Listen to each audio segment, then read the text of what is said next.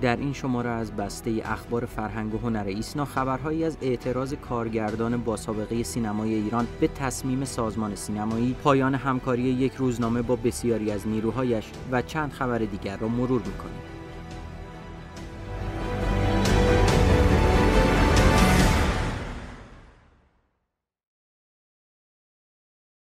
اعتراض مهرجویی به حسب لامینور از اکران نوروزی. پس از آنکه سازمان سینمایی اعلام کرد فیلم لامینور ساخته داروش مهرجویی در فهرست اکران نوروزی قرار نگرفته کارگردان این فیلم ویدئویی در اعتراض به رفتار این سازمان منتشر کرد. مهرجویی در این ویدئو مسئولان سازمان سینمایی را مخاطب اعتراضات خود قرار داد و آنها را تهدید کرد که در مقابل وزارت ارشاد تحسن می کند. پیش از این واکنش سازمان سینمایی اعلام کرده بود لامینور پروانه نمایش خود را دو سال پیش دریافت کرده و در حال حاضر اعتبار آن منقضی شده. اما فیلم مشکلی برای صدور پروانه نمایش ندارد و اثر بازبینی شده و جمعبندی آن به زودی انجام می شود. انتشار ویدئوی اظهارات تند مهرجویی علیه سیاستگذاری مسئولان سینمایی واکنش های فراوان اهالی سینما و مردم را به همراه داشت. در نهایت شورای سنفی نمایش مصوب کرد که فیلم از اکران ویژه عید فطر یا هر زمان دلخواه دیگر صاحب فیلم برخوردار شود. رضا دورمشیان تهیه کننده لامینور هم اعلام کرده پروانه نمایش این فیلم تمدید شده است. به من اشتباهی اطلاعات نادرست دادن و کمی قصدار شدم.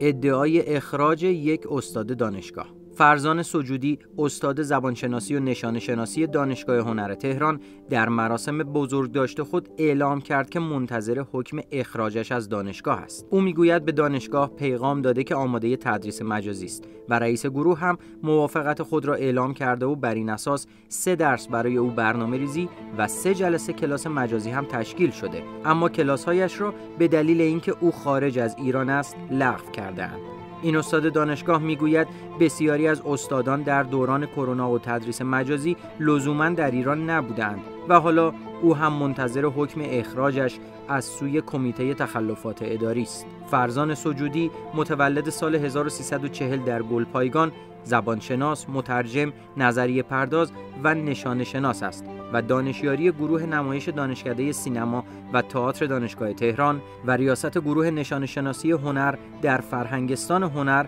در سوابق او به چشم می‌خورد. سرقت لنگ کفش یکی از آثار پرویز تناولی در هفته ای که گذشت تصویری از مجسمه ساخته پرویز تناولی در پارک شفق تهران منتشر شد که نشان می‌داد یک لنگ کفش این مجسمه به سرقت رفته است.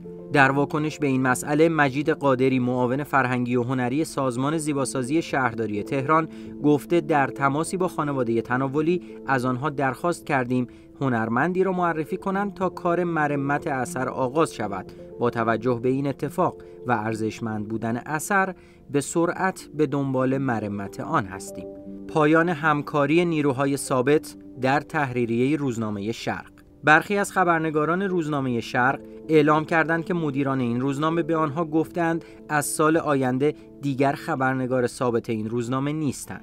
این خبر در فضای مجازی به خصوص در بین فعالان رسانه واکنش های زیادی داشت.